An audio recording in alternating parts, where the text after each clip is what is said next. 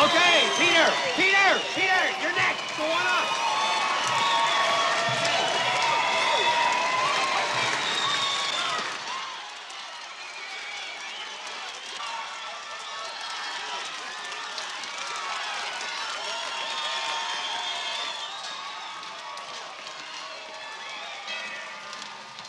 Sorry, I'm busy right now.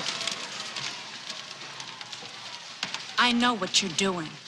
I know about the car, the grades, and the promises. And I want you to lay off. Todd Howard has a future at this school, but it's not in the ring. Who do you think you're talking to? He'll do exactly as I say. You don't own him. Is this your idea of a threat? No. This is.